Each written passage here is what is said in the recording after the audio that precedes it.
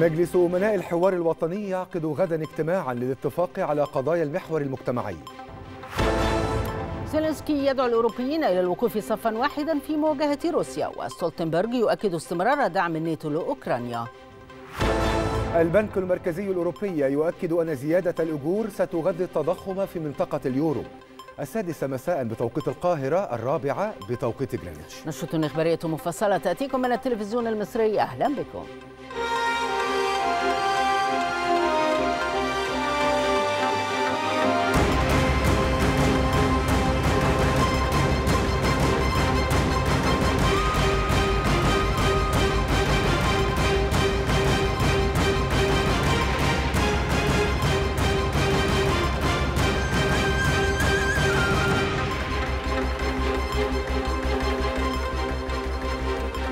يعقد مجلس أمناء الحوار الوطني غدا اجتماعا من أجل الاتفاق على قضايا المحور المجتمعي للحوار الوطني فضلا عن احتمالية الاستقرار على الموعد الرسمي لانطلاق جلسات الحوار وأسماء المشاركين به. وخلال الاجتماع الأخير للحوار الوطني تم الاستقرار على قضايا المحور الاقتصادي كما تم ضم عدد من القضايا الرئيسية بالمحور مع بعضها البعض وترتيبها وفقا للإطار المنهجي لها وذلك من أجل تحديد أولويات المناقشات عند بدء جلسات الحوار.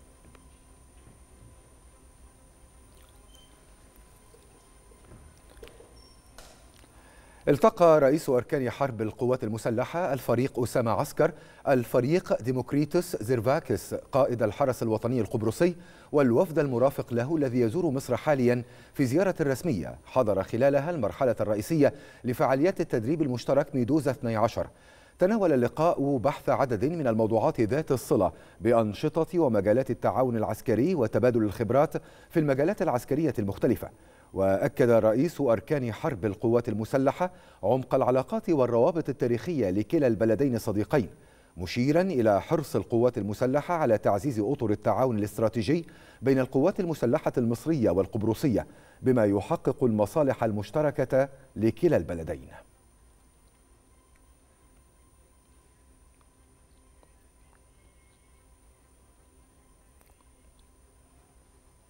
في إطار الدور الإنساني والاجتماعي لوزارة الداخلية وحرصها على التواصل مع كافة فئات المجتمع شاركت الوزارة الأطفال الاحتفال باليوم العالمي لحقوق الطفل. وقامت الداخلية في هذا الإطار بتنظيم زيارات للمدارس ودور رعاية الأيتام وتقديم هدايا للأطفال.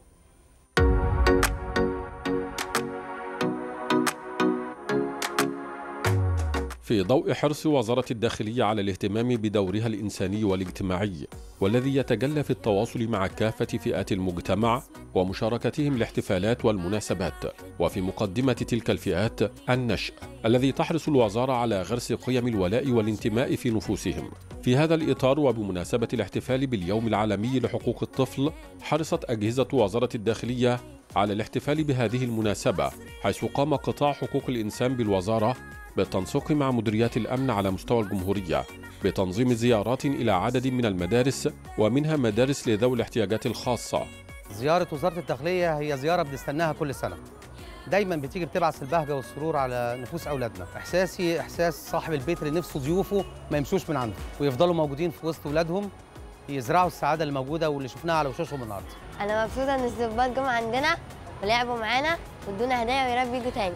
مبسوطين بوجودهم هنا وفرحانين ومبسوطين وقعدوا يتكلموا معانا وإحنا يعني بنتمنى إن هم يزورنا كل يوم. زيارات كان لها أثر طيب لدى الأطفال الذين أثنوا على هذا الاهتمام الذي تليه وزارة الداخلية لهم. قطاع كبير من وزارة الداخلية جم يحتفلوا معانا في عيد الطفولة ودخلوا قدموا هدايا كتير جدا للاولاد وأدخلوا عليهم الفرحة. إحنا تعودنا دايما آه، إن وزاره الداخلية معانا في الاحتفالات ومعانا في المناسبات آه، سواء المناسبات الوطنية أو المناسبات العادية. آه، ده شيء يعني مستمر معانا دايما يعني. أنا بجد النهارده فرحان جدا إن ضباط وظابطات من وزارة الداخلية جم واحتفلوا معانا بيوم الطفل العالمي نفسي لما أكبر أبقى ظابطة آه وأجي أحتفل مع الأطفال. قدموا طبعا علينا هدايا وبازل وألبومات وحاجات حلوة قوي كده وفرحوا كل الأطفال اللي كانوا قاعدين. وطبعا إحنا بنشكرهم كلهم. ونظمت الوزارة زيارات بهذه المناسبة إلى دور رعاية الأيتام وهو أمر ليس بجديد على وزارة الداخلية التي تولي أطفال هذه الدور رعاية واهتماما خاصا. على مدار العام وتقدم لهم الدعم المعنوي الذي يعمق لديهم روح الولاء والانتماء للوطن. وزارة الداخلية عمرها ما بتنسانا في أي حاجة إذا كان بطاطين في الشتاء إذا كان آه، مأكولات أي حاجة إحنا بنطلبها الصراحة أو محتاجينها هم بيوفوها لنا. وبهذه المناسبة تم تنظيم زيارات لمستشفيات الأطفال وتقديم هدايا للأطفال من من يتلقون العلاج بها وهو ما يسهم في رفع روحهم المعنوية ويساعدهم على الشفاء. مين حيفرقنا وإحنا تملي الإيد في الإيد. شايفين؟ حلمنا بيقرب والأحلام ما بقتش بعيد. عارفين؟ كما تم إيفاد قوافل طبية بالتنسيق مع قطاع الخدمات الطبية بالوزارة لتوقيع الكشف الطبي على الأطفال وصرف الأدوية اللازمة لهم بالمجان. وبهذه المناسبة قام قطاع الخدمات الطبية باستقبال الأطفال بمستشفيات الشرطة وتوقيع الكشف الطبي عليهم وصرف الأدوية اللازمة لهم على مدار ثلاثة أيام. خطوتنا الجاية ومستقبلنا طريقه منين؟ أجيال هتكمل مشوار الأبطال وعلينا العين وحرصت الوزارة من خلال مديريات الأمن على استقبال الأطفال بالمنشآت الشرطية لمشاركتهم الاحتفال باليوم العالمي لحقوق الطفل وتعريفهم بالدور الذي يطلع به رجال الشرطة في حماية أمن المواطنين مع تقديم بعض الهدايا لهم.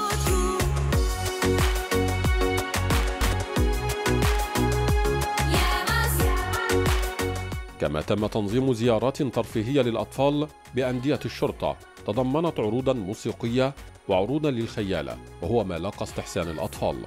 شفنا عروض حلوة قوي عروض يعني كان في مسدس صوت وكان في ركوب خيل وكان في كلاب وكان في حركات حلوة قوي وعروض حلوة قوي واتبسطنا جدا ووزعوا علينا هدايا. وتصورنا مع كل الضباط اللي هنا وبشكر الرئيس وبشكر وزارة الداخلية. وتعرفنا على حاجات كتيرة كناش نعرفها وحاجات حلوة كتير واستفدنا منها يعني استفادة كبيرة جدا. وعلمونا إزاي لما يكون في حريقة نت- نتصل ب 180 وعلمونا إزاي إن إحنا نتصرف. كل هذه الاحتفالات مع الأطفال تأتي ترجمة واقعية لاستراتيجية وزارة الداخلية الاجتماعية الحريصة على دعم والتواصل مع كافة فئات المجتمع.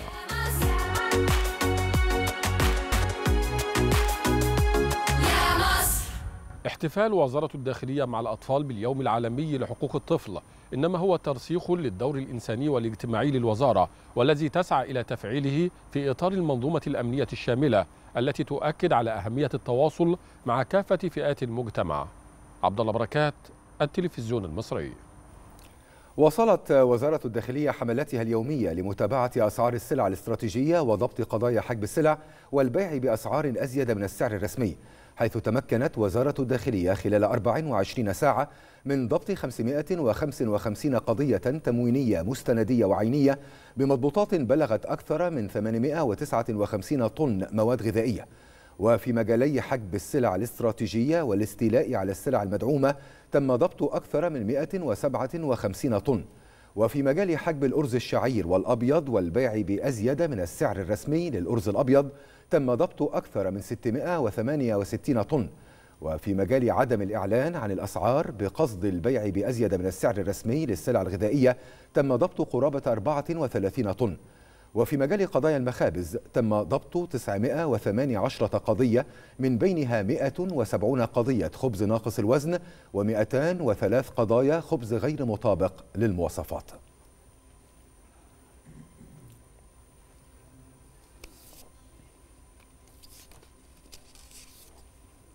تفقد رئيس هيئة قناة السويس الفريق أسامة ربيع مجموعة من مواقع العمل ومنشآت الهيئة الرئيسية بمحافظة السويس وتأتي الجولة التفقدية في إطار الاطمئنان على سير العمل والمتابعة الدورية لتقدم الأعمال بترسانة بور توفيق البحرية على الوقوف على مستجدات مشروع تطوير القطاع الجنوبي.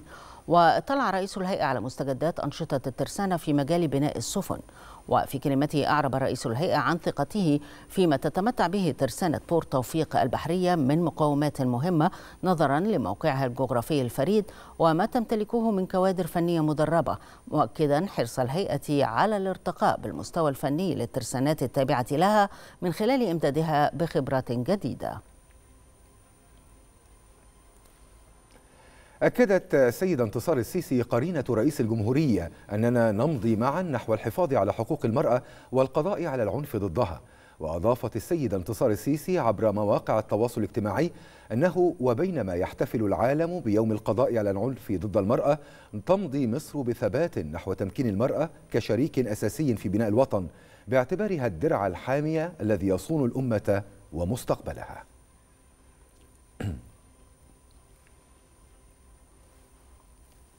16 يوما تبدأ من الخامس والعشرين من نوفمبر وحتى العاشر من ديسمبر من كل عام. هي المدة التي تستغرقها مبادرة اتحدوا لإنهاء العنف ضد المرأة والتي ترعاها الأمم المتحدة.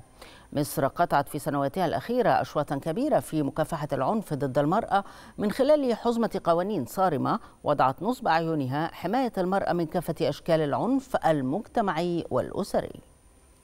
العدل والقوة في صورة امرأة. وبهذا تكون المرأة المصرية قد سبقت نساء العالم في تعظيم مكانتها في المجتمع. وتوالت قصص بطولة المرأة المصرية في جميع المجالات. فهي بمثابة قصة كفاح ونضال وتضحية تستحق منا كل الفخر والاحترام والتقدير. ثماني سنوات من العمل الجاد والدؤوب الذي أنجزته الدولة حرصت خلالها على بذل كافة الجهود وإصدار التشريعات والقرارات لضمان حماية المرأة من جميع أشكال العنف ضدها وهي التشريعات التي بدأت بدستور 2014 وللمرة الأولى في التاريخ الحديث تنتصر حزمة كبيرة من القوانين والتشريعات للمرأة المصرية وتسعى لحمايتها من كافة الاوجه فقد تبنت القياده السياسية منذ اليوم الأول الاستراتيجية الوطنية للقضاء على العنف ضد المرأة وأقرها مجلس الوزراء بمشاركة عدة وزارات وتم إطلاق التقرير الخاص بها في عام 2021 وتم اعتماد عدة استراتيجيات وطنية. هي الاستراتيجية الوطنية للقضاء على الختان والصحة الإنجابية ومكافحة الزواج المبكر ومناهضة الاتجار بالبشر ومناهضة الهجرة غير الشرعية. ولعل من أبرز الجهود القيام بإطلاق مسح التكلفة الاقتصادية للعنف ضد المرأة حيث تعتبر مصر هي الدولة العربية الأولى في إجراء هذا المسح لمعرفة فداحة الخسائر التي تنتج عن العنف ضد المرأة على الأسرة والمجتمع. المجتمع. كما أطلقت مصر حزمة الخدمات الأساسية للنساء والفتيات اللاتي يتعرضن للعنف لتصبح مصر من بين أول عشر دول تم ترشيحها لتجربة حزمة الخدمات الأساسية لصندوق الأمم المتحدة للسكان وهيئة الأمم المتحدة للمرأة. ولم تهتم الدولة بمكافحة العنف ضد المرأة فحسب بل اعتبرت أن الإضرار بالطفل جزء من العنف ضد المرأة. فصدر قرار بإثبات الولاية التعليمية للأم المطلقة دون الحاجة لحكم أو قرار. كما صدرت عدة قرارات مهمة من بينها قرارات مجلس الوزراء بإنشاء اللجنة العليا الدائمة لحقوق الإنسان وقرار بإنشاء الوحدة المجمعة لحماية المرأة من العنف. وتهدف تلك الوحدة لوجود مقر مجمع لخدمات الجهات والوزارات المعنية بالتعامل مع قضايا العنف ضد المرأة في مكان واحد تيسيرا وتسهيلا للإجراءات المتبعة في التعامل مع مثل هذه الجرائم بالنسبة للمرأة حتى يتوفر لها الحصول على كافة أنواع الرعاية.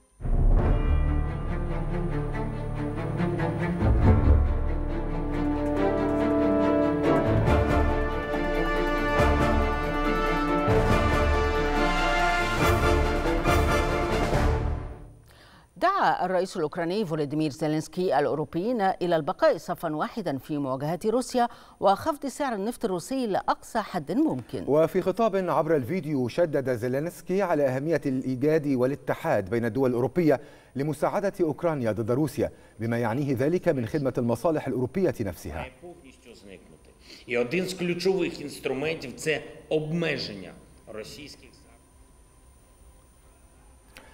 أكد الأمين العام لحلف شمال الأطلنطي يانس ستولتنبرغ أن الحلف لن يتراجع عن دعم أوكرانيا وأشار إلى أن فنلندا والسويد ستحضران اجتماعات الحلف مؤكدا أهمية الانتهاء من عمليات انضمامها للناتو. وخلال مؤتمر صحفي أعرب ستولتنبرغ عن ترحيبه بعرض ألمانيا تعزيز الدفاعات الجوية لبولندا من خلال شحن بطاريات باتريوت إلى وارسو لا سيما بعد حادث سقوط أحد الصواريخ على الأراضي البولندية. أنا أرحب بالعرض الألماني بتعزيز الدفاع الجوي في بولندا وذلك من خلال تعبئة بطاريات الباتريوت إلى بولندا. وبعد الحادث الكارثي في بولندا الأسبوع المنصرم حيث خسر شخصين حياتهما.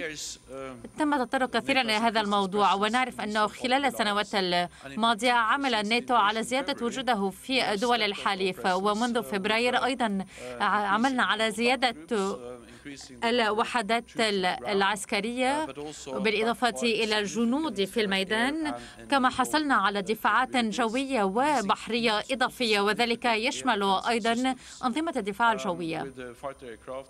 من خلال الطائرات المضادة للصواريخ بالإضافة إلى منظومات جوية كمنظومة باتريوت فضلا عن أنظمة الدفاعات البحرية. إذا بشكل عام نحن زدنا وجودنا في المنطقة ولا سيما في الحدود الشرقية لتحالفنا. فضلا عن ذلك نعرف أن أحد المسؤولين العسكريين الألمان الكبار يملكون القدرات على تعزيز قدراتنا في على الحدود الشرقية لتحالفنا. أعلنت الحكومة البريطانية أن وزير الخارجية البريطاني جيمس كليفرلي التقى الرئيس الأوكراني فولوديمير زيلينسكي لتأكيد دعم المملكة المتحدة الثابت لكييف في أعقاب الهجمات الروسية على البنية التحتية في أوكرانيا.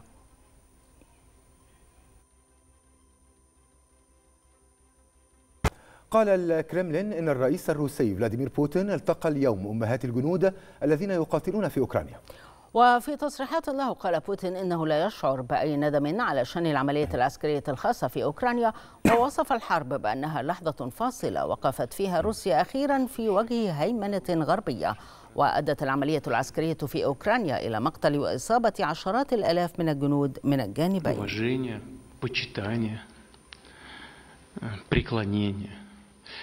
И в этой связи, конечно, хотел бы вспомнить об этом, но прекрасно понимаю, что для вас, так же как для очень многих других женщин России, чьи сыновья من جهة أخرى نفى الكرملين صحة المعلومات الصحفية التي تحدثت عن احتمال الإعلان عن تعبئة جديدة في البلاد. وفي السياق ذاته أوضح المتحدث باسم الكرملين ديمتري بيسكوف أن تصريحات أوكرانيا بشأن استعادة شبه جزيرة القرم التي ضمتها روسيا تؤكد رفضها حل المشاكل بطرق سلمية.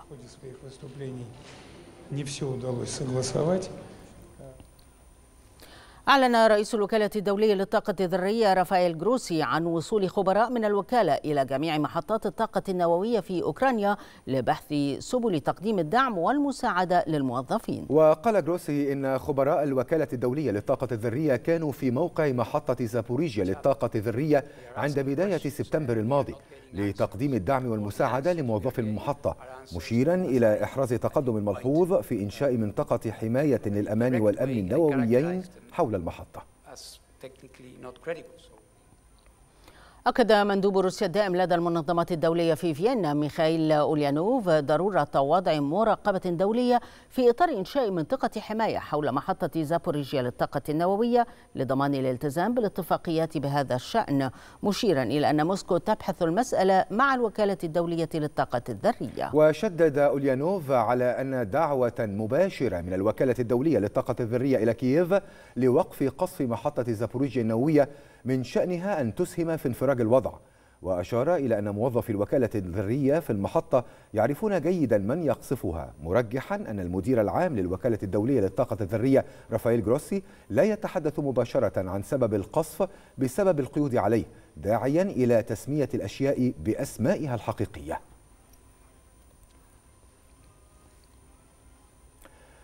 في المقابل أعلن الحاكم العسكري لإقليم زابوريجيا أن القوات الروسية شنت هجوما صاروخيا على ضواحي الإقليم. وأوضح المسؤول الأوكراني أن القوات الروسية هاجمت الإقليم بصواريخ أصابت منطقة قريبة من المستشفى العام. وفي السياق ذاته ذكرت هيئة الأركان العامة للقوات المسلحة الأوكرانية أن وحدات من قوات الدفاع الوطني صدت على مدار ال 24 ساعة الماضية هجمات من جانب القوات الروسية في المناطق القريبة من إقليمي دونيتسك ولوهانسك بجنوب البلاد.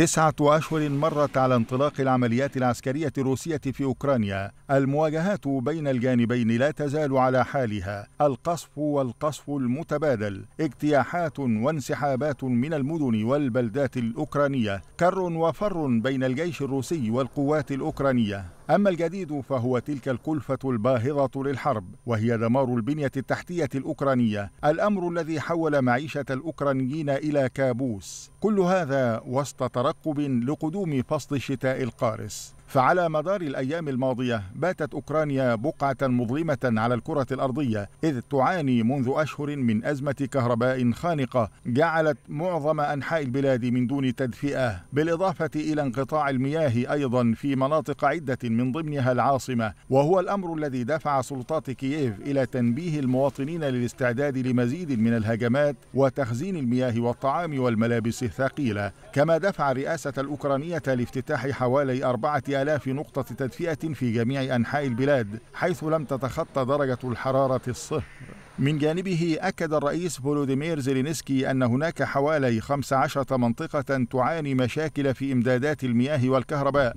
موضحا أن وضع الكهرباء لا يزال صعبا في كل المناطق تقريبا وأضاف زيلينسكي أنه يتعمد كل ساعة إعادة توصيل الكهرباء لمزيد من المستهلكين كما أضاف أن بلاده صمدت طيلة تسعة أشهر من الحرب الشاملة ودعا شعبه إلى مواصلة الصمود Наші десантно-штурмові війська, як і всі сили оборони України, сплачують надзвичайно високу ціну за те, щоб наш народ зберіг свою свободу. Тисячі українців і українок загинули в боях за нашу державу. Ми маємо завжди їх пам'ятати. Маємо завжди шанувати їхню відвагу і самопожертву. الجانب الروسي اعترف بمهاجمة البنية التحتية الأساسية وأكد أنه يفعل ذلك بهدف الحد من قدرة أوكرانيا على القتال ودفعها للتفاوض أما أوكرانيا فتقول إن مثل هذه الهجمات تعد جريمة حرب نشر التلفزيون الرسمي الروسي لقطات مصورة لما قال إنها لجنود روس وصلوا إلى موسكو بعد تبادل أسرى حرب مع أوكرانيا. يظهر الفيديو طائرة تهبط في مطار تشاكالوفسكي بالقرب من موسكو والجنود ينزلون منها ثم يستقلون الحافلات. وقال رئيس منطقة دونيتسك دينيس بوشلين إن خمسين جنديا روسيا أعيدوا إلى روسيا مقابل نفس العدد من الجنود الأوكرانيين.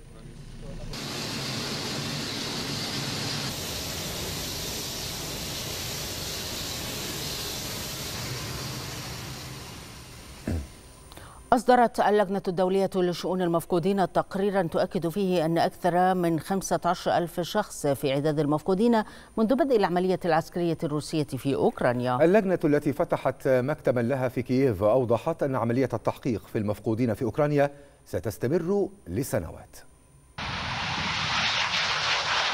منذ فبراير الماضي وتحديدا منذ بدء العملية العسكرية الروسية في أوكرانيا أصبح أكثر من 15 ألف شخص في عداد المفقودين. تلك الأرقام صدرت عن اللجنة الدولية لشؤون المفقودين إذ أكد مدير برنامج اللجنة في أوروبا ماثيو هوليدي أنه لم يتضح بعد عدد الأشخاص الذين تم نقلهم أو احتجازهم أو الذين هم على قيد الحياة ومنفصلون عن أفراد عائلاتهم أو ماتوا ودفنوا في مقابر مؤقتة. في يوليو الماضي افتتحت المنظمة والتي تتخذ لاهاي مقرا لها مكتبا في كييف لمساعدة أوكرانيا في التوثيق. وتعقب المفقودين. اللجنة الأوروبية كشفت عن أن عملية التحقيق في المفقودين في أوكرانيا ستستمر لسنوات حتى بعد توقف القتال فيما يعد الرقم والبالغ 15 ألف شخص متحفظ عليه عند الأخذ في الاعتبار أنه في مدينة ماريبول الساحلية وحدها. تقدر السلطات أن نحو 25 ألف شخص إما لقوا حتفهم أو فقدوا.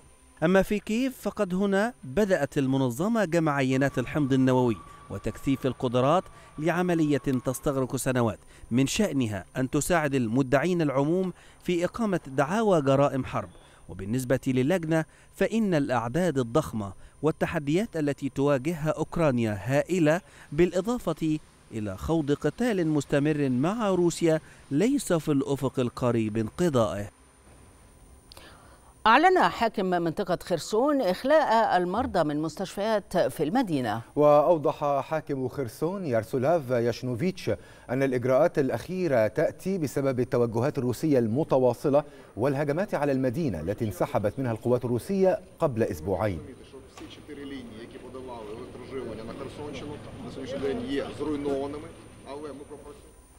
قدمت الولايات المتحدة الأمريكية شحنة من الآلاف من الأغطية للأوكرانيين لمساعدتهم على الاحتماء من برد الشتاء بسبب انقطاعات الكهرباء المستمرة في جميع أنحاء البلاد. وتلقت السكك الحديدية الأوكرانية نحو 23 ألف بطانية تم توزيعها على مختلف المحطات في أنحاء البلاد مقدمة من الوكالة الأمريكية لمكتب التنمية الدولي للمساعدات الإنسانية بموجب مشروع للمنظمة الدولية للهجرة.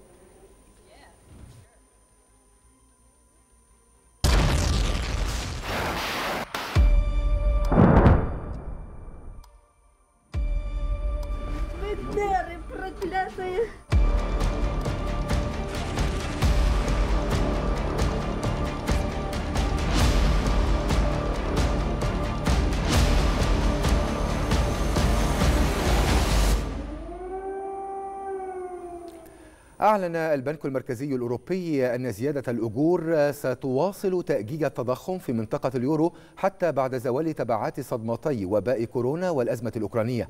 وأوضح رئيس قسم الاقتصاد في البنك المركزي الأوروبي فيليب لاين أوضح أن زيادة الأجور ستكون المحرك الرئيس لارتفاع الأسعار خلال السنوات المقبلة.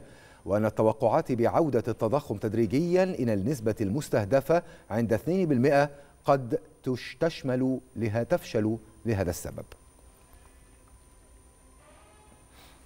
تتأثر القطاعات الصناعية الإنتاجية في أوروبا سلبا بتداعيات الأزمة الأوكرانية لا سيما على صعيد مصادر الطاقة التي كانت تعتمد فيها أوروبا بشكل كبير على روسيا.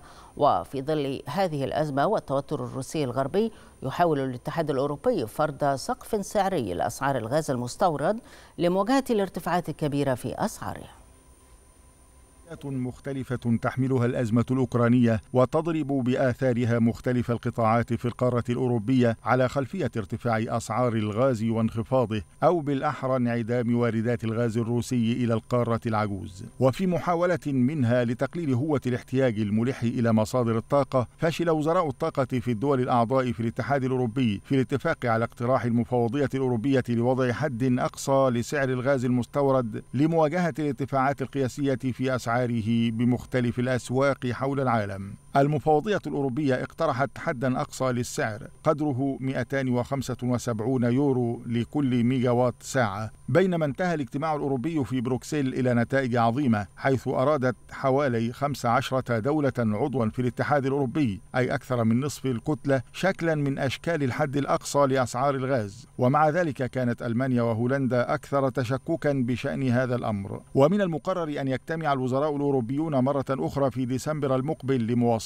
مناقشة قضية سقف أسعار الغاز وفقا لوزير الصناعة والتجارة الشيكي جوزيف سيكيلا الذي يترأس أيضا اجتماعات وزراء الطاقة بالاتحاد الأوروبي وذلك بالتوازي مع خلافات أوروبية أخرى حول وضع حد أقصى لأسعار النفط الروسي بما يؤثر على حركة الصناعة والتجارة العالمية. التحركات الأوروبية بشأن الطاقة علقت عليها موسكو من خلال المتحدثة باسم الخارجية الروسية ماريا زخاروفا التي انتقدت الحدود القصوى لأسعار الطاقة الروسية التي اقترحها الاتحاد الأوروبي. لافتة إلى أن العديد من الدول المنتجة للنفط تعارض أيضا تحديد سقف الأسعار لأن هذا الإجراء سيعطل نظام التجارة العالمية وسلاسل التوريد. أدلى رئيس الوزراء الكندي جاستن ترودو بشهادته في تحقيق علني للدفاع عن استخدامه لقانون نادرا ما يتم اللجوء إليه في زمن السلم في البلاد لإجلاء سائقي شاحنات تسببوا بشل الحركة في العاصمة الكندية أوتاوا وذلك في وقت سابق من العام الجاري. وأثار إجلاء السائقين والتجمعات الأخرى في جميع أنحاء كندا في ذلك الوقت استنادا إلى قانون إجراءات الطوارئ جدلا كبيرا في كندا بشأن الحريات العامة. Your uh, appearance. I, you're welcome uh, to come in. Obviously, we're uh, happy to get started. Thank you. قال رئيس الوزراء الماليزي أنور إبراهيم إن تركيزه الأساسي سينصب على التعامل مع ارتفاع تكاليف المعيشة وذلك مع توليه منصبه في ظل اقتصاد متباطئ وانقسام شديد في البلاد بعد انتخابات جاءت نتائجها متقاربة. وقال أنور الذي عينه ملك ماليزيا أمس الخميس بعد انتخابات غير حاسمة إن تركيزه الأساسي هو الاقتصاد وأنه سيشكل حكومة أصغر من الإدارات السابقة. Dan juga soal bursa saham yang lebih positif menunjuk keyakinan. أعلنت الصين اعتزامها خفض كمية السيولة النقدية التي يتعين على البنوك الاحتفاظ بها كاحتياطيات للمرة الثانية هذا العام بما يفرج عن حوالي 70 مليار دولار من السيولة على المدى الطويل لدعم الاقتصاد الصيني. وأشار بنك الشعب الصيني المركزي إلى أنه سيخفض نسبة متطلبات الاحتياطي للبنوك بمقدار 25 نقطة أساس اعتبارا من الخامس من ديسمبر المقبل بهدف تعزيز عمليات الإقراض داخل اقتصاد البلاد.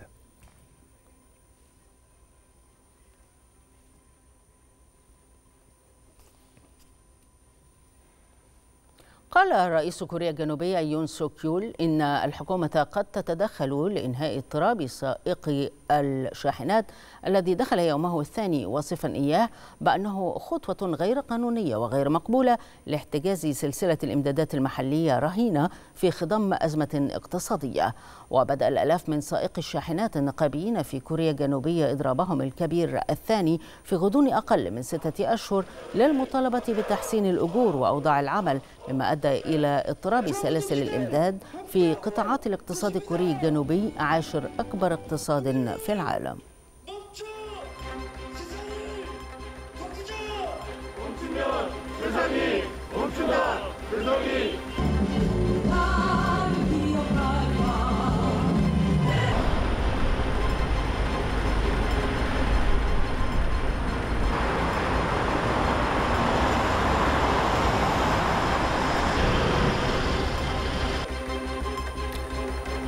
السادسة متواصلة مع حضراتكم من التلفزيون المصري وتتابعون فيها. القوات المسلحة الصومالية تقتل 15 عنصرا إرهابيا في عملية عسكرية جنوب البلاد.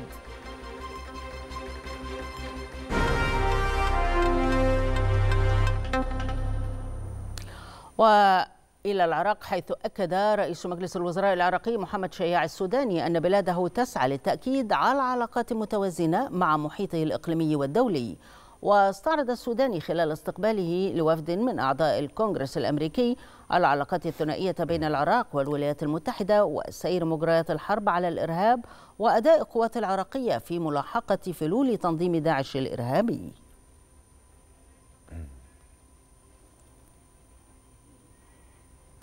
أعلن الجيش الصومالي مقتل 15 عنصرا من تنظيم الشباب الإرهابي المرتبط بتنظيم القاعدة الإرهابي في عملية عسكرية نفذها الجيش في مناطق تابعة لإقليم شبيلي السفلي جنوب البلاد.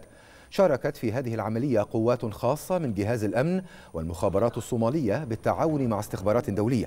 ونجحت القوات المشتركة في استهداف المناطق المحددة للعناصر والقضاء عليهم.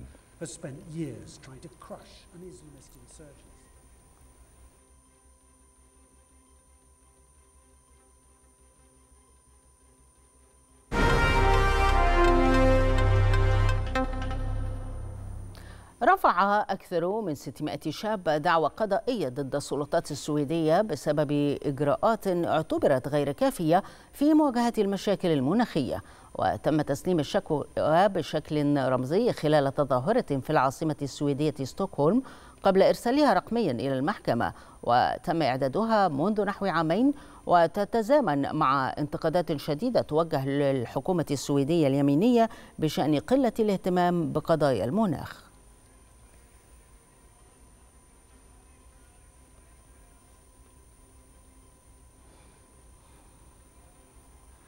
قالت السلطات الصينية إن حريقا شب في مبنى سكني في إقليم تشانغيانغ شمال غرب البلاد أسفر عن مقتل عشرة أشخاص وإصابة تسعة. وقالت وسائل إعلام رسمية إن السكان تمكنوا من النزول إلى الطابق السفلي بعد هذا الحريق. ويعد هذا الحريق هو ثاني حريق مميت في الصين خلال الأيام القليلة الماضية. فقد أودى حريق في مصنع بمدينة أتيانغ بوسط الصين بحياة 38 شخصا هذا الأسبوع.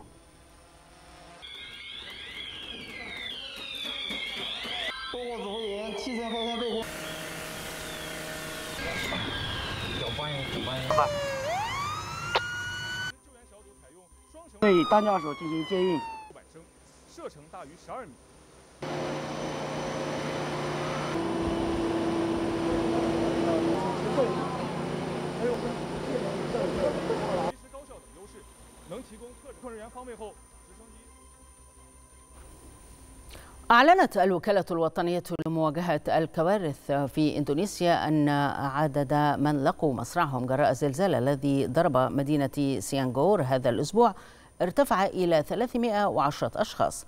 وأضاف رئيس الوكالة الإندونيسية أن 24 شخصا ما زالوا في عدد المفقودين. لا تزال آثار الزلزال في كل مكان هنا في سيانغور بمقاطعة جاوا الغربية بإندونيسيا.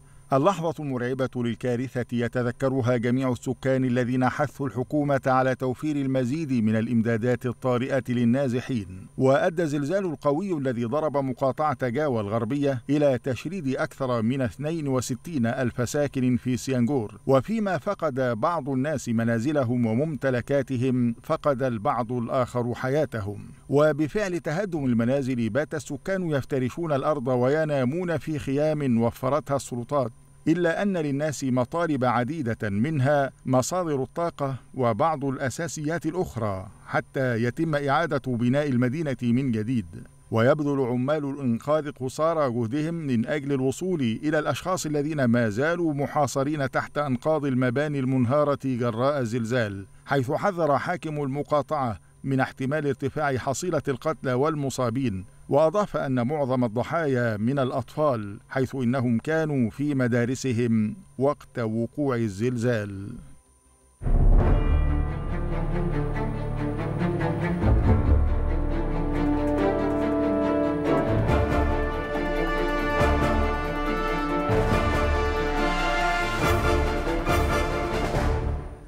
أظهر تقرير صحي إيطالي أن مؤشر انتشار عدوى وباء كورونا قد وصل إلى واحد وأربعة من عشرة ليتجاوز رمزيا عتبة الوباء المحددة عند واحد فقط وهو ارتفاع مقارنة بالأسبوع الماضي بالإضافة إلى أن هناك ست مقاطعات في إيطاليا تعد عالية الخطورة من ناحية العدوى. وذكر التقرير الصحي أن الأمر يتعلق بزيادة تتجاوز عتبة الوباء مقارنة بالأسبوع السابق كما ازدادت أيضا حالات العدوى التي تنطوي على الدخول إلى المستشفى لتتجاوز عتبة الوباء بقليل متوقفة عند واحد وسبعة من مئة.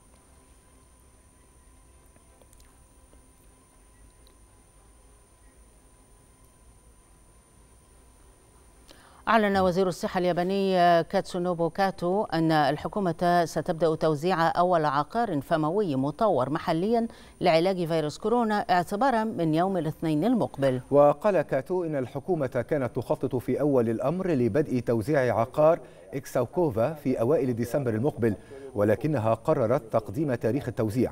وأشار وزير الصحة الياباني إلى أن الإمدادات لمليون شخص متوفرة بالفعل وأن استعدادات التوزيع تتقدم بسلاسة. ومن المقرر أن يتم تسليم العقار إلى حوالي 2900 منشأة طبية سيتم إدراجها على المواقع الإلكترونية لحكومات المحافظات.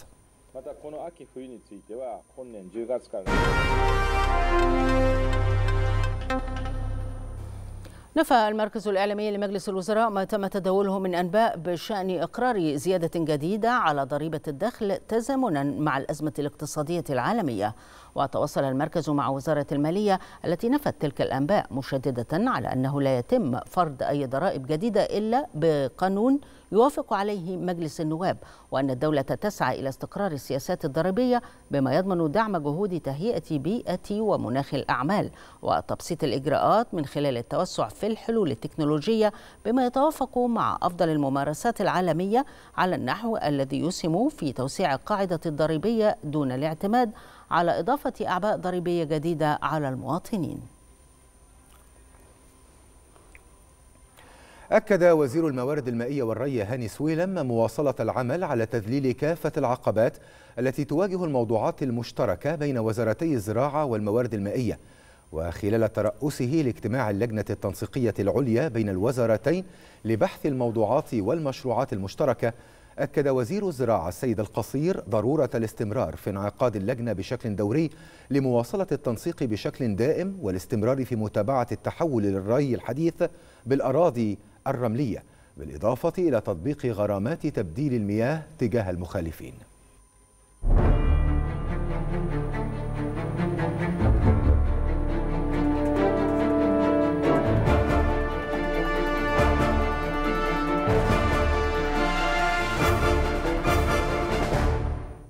أعلنت وزارة الصحة والسكان إطلاق أربع قوافل طبية مجانية على مدار يومين ضمن مبادرة حياة كريمة للكشف والعلاج مجانا في عدد من التخصصات الطبية. وأوضحت الوزارة أن هذه القوافل سوف تغطي محافظات الغربية الجيزة دمياط والوادي الجديد.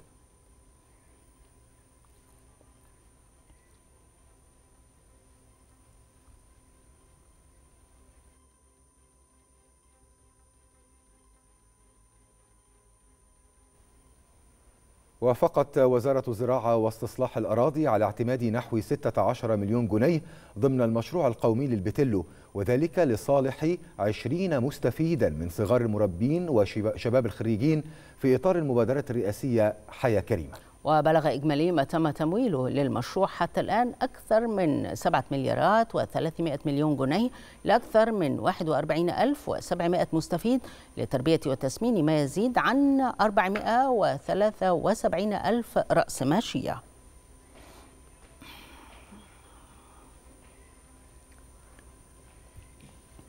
نظمت مديرية الصحة بدمياط قافلة طبية في قرية النصر التابعة لمركز كفر سعد ضمن المبادرة الرئاسية. حياة كريمة. وتضمنت القافلة عيادات متنقلة بكافة التخصصات الطبية ومعملا وصيدلية وجهاز أشعة حيث تم صرف الأدوية بالمجان وسط إجراءات وقائية واحترازية لمواجهة فيروس كورونا.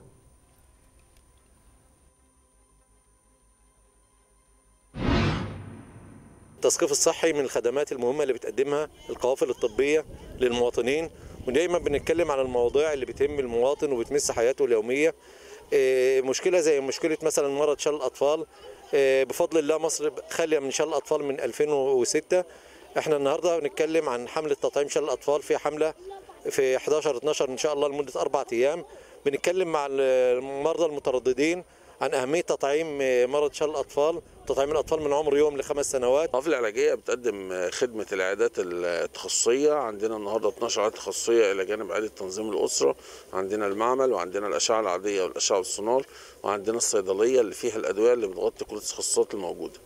القافلة بتستمر لمدة ثلاث أيام. أول يوم منهم بيبقى إعداد.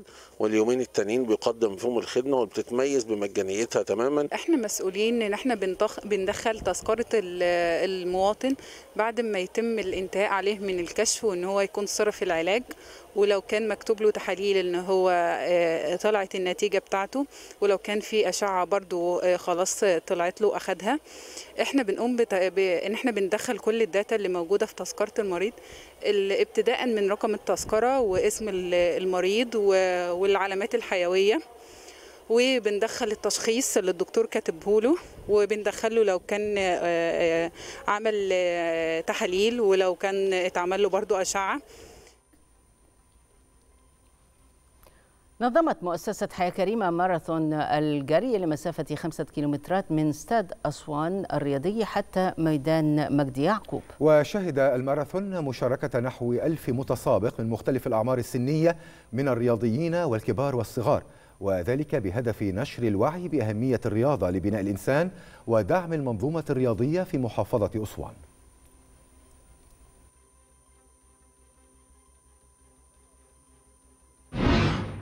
بيتم تنظيمه من خلال متطوعين حياة كريمة المشاركين داخل الإيفنت. نشر الرياضة مهم جدا جدا جدا بين كافة الفئات. وإحنا النهارده بنشوفهم موجودين بكثافة من خلال الفئات المختلفه من أطفال سيدات بنات كبار سن. كل دول بيشاركوا معانا النهارده وإن شاء الله هيكون موجود داخل عدد كبير من المحافظات خلال الفترة الجاية بإذن الله.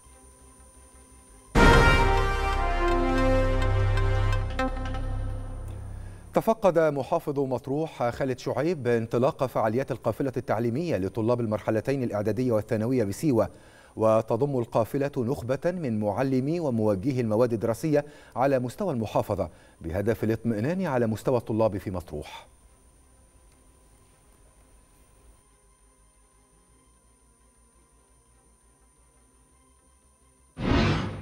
قافلة يعني متكونة من السادة موجهين المواد التعليمية والهدف منها الأساسي برضه هو نحن بنطمن على مستوى أبنائنا خصوصا في الأماكن البعيدة اللي زي كده وفي الوقت نفسه بنسد العجز لو في عجز في بعض المدرسين أو في بعض التخصصات السادة موجهين القافلة التعليمية هم بيسدوا هذا العجز من خلال الشرح المستفيد لأبنائنا وبناتنا داخل الواحة. أنا تفقدت النهارده القافلة التعليمية بكل مراحلها سواء الشهاده الاعداديه والشهاده الثانويه وسنة أولى وثانية ثانوي. يعني سعدت طبعا بهذا الإجراء وبشكر مديرية التربيه والتعليم والسيد وكيل وزارة التربيه والتعليم بمطروح وكل العاملين معه على هذه الروح الطيبة.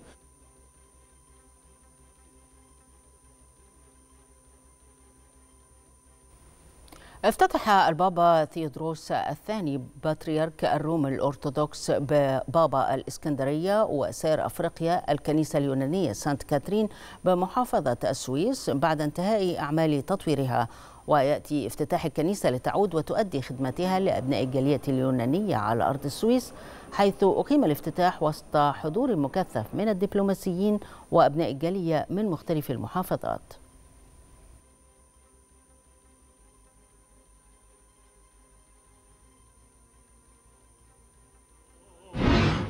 النهارده افتتاح الكنيسة بعد ترميمها كنيسة عريقة. زي ما شفنا حضور مكثف من السادة الدبلوماسيين والسفراء والمسؤولين عن الجالية حضور من كافة أنحاء الجمهورية ومن خارج مصر بشكل كبير. بنبارك لإخواتنا على افتتاح وترميم الكنيسة. كل دور العبادة تدعو إلى مكارم الأخلاق ورقي الإنسان بشكل عام.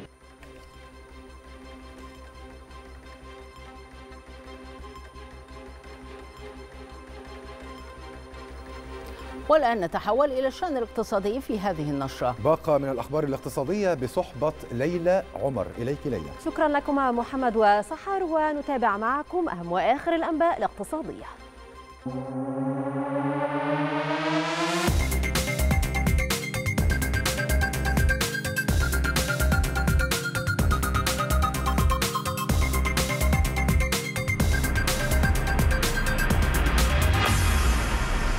أظهرت بيانات أن الاقتصاد الألماني نما بشكل طفيف في الربع الثالث بأكثر مما جاء في توقعات أولية مدعوما بإنفاق المستهلكين. وقال مكتب الإحصاء الاتحادي إن أكبر اقتصاد في أوروبا حقق نموا نسبة 4 من 10% على أساس ربع سنوي وواحد وثلاثة من 10% على أساس سنوي وفقا للأرقام المعدلة موسمياً.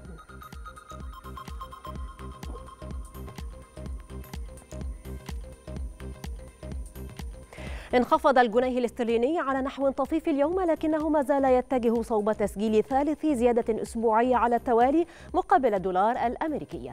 ويتوقع محللون أن يظل الاسترليني هشا مع مواصلة بنوك مركزية منها بنك إنجلترا تشديد السياسة النقدية حتى على الرغم من الركود الذي من المتوقع أن يكون أعمق في بريطانيا عن الولايات المتحدة.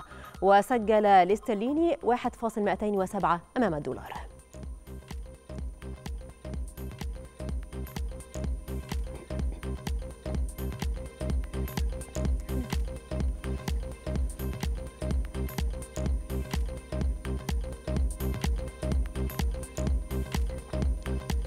وفي أسواق المعادن النفيسة تراجعت أسعار الذهب مع استعادة الدولار لمسار الصعود لكن توقعات برفع أقل حدة لسعر الفائدة من المركزي الأمريكي وضعت المعدن الأصفر على طريق تحقيق مكسب أسبوعي صغير.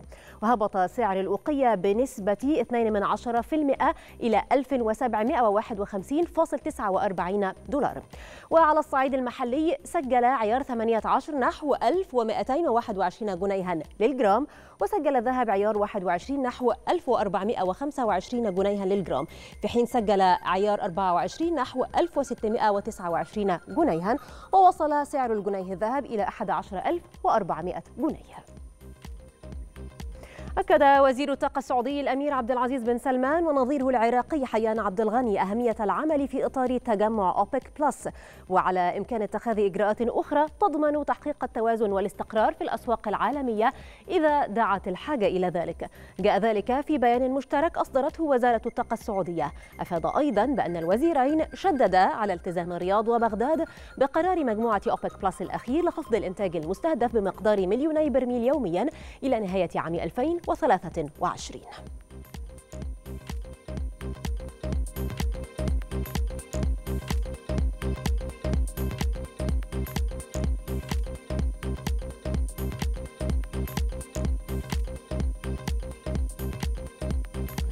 ختام أخبار الاقتصاد عودة مرة أخرى لسحر ومحمد إليكم من جديد. شكرا لك ليلى.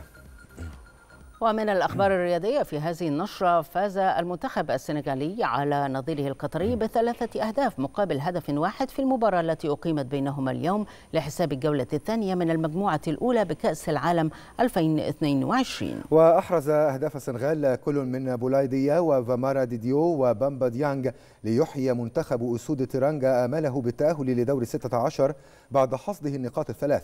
فيما اقترب المنتخب القطري من توديع البطولة بخسارته الثانية على التوالي.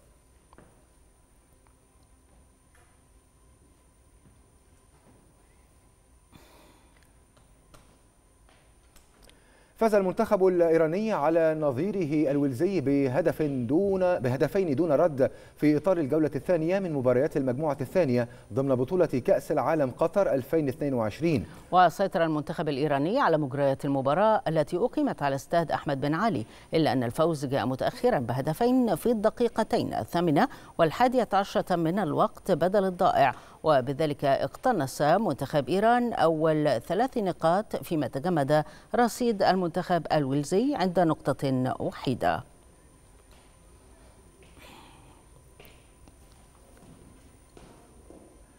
هذا وتتواصل في قطر فعاليات بطولة كأس العالم لكرة القدم 2022 ومع انتهاء مباريات الجولة الأولى من دور المجموعات تميزت مختلف المواجهات بمنافسة شرسة خلال الستة عشرة مباراة الأولى في البطولة والتي انتهت إحدى عشرة منها بفوز أحد المنتخبين فيما انتهت خمس من تلك المباريات بالتعادل.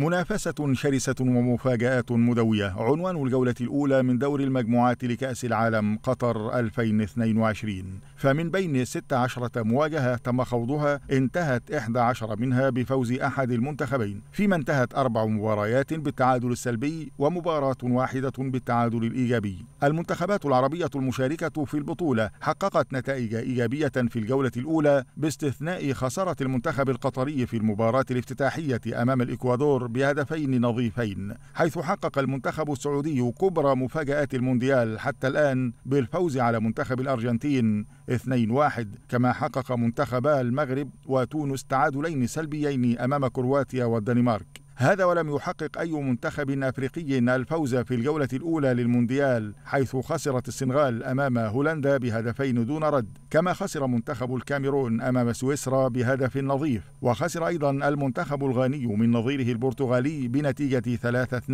3-2 الجولة الأولى شهدت تسجيل 41 هدفا بمعدل هدفين ونصف الهدف في كل مباراة حيث تم إحراز 15 هدفا في الشوط الأول و26 هدفا في الشوط الثاني. وشهدت الجولة احتساب تسع ضربات جزاء تم تسجيل سبع منها فيما أضاع نجم بولندا روبرت ليفاندوفسكي ضربة أمام المكسيك. كما أهدر لاعب كندا ألفونسو ديفيز الضربة الأخرى أمام بلجيكا. هي إذا جولة واحدة انتهت من بين عدة جولات في الطريق نحو حصد الذهب والتتويج باللقب الأغلى.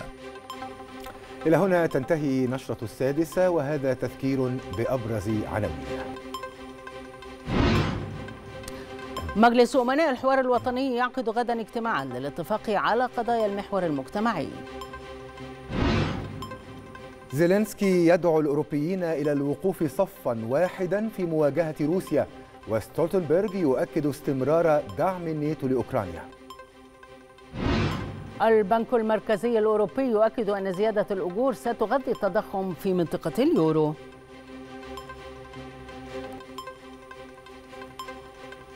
وبهذه العناوين وصلنا وإياكم إلى نهاية نشرة السادسة. نشكركم على طيب المتابعة ودمتم سالمين.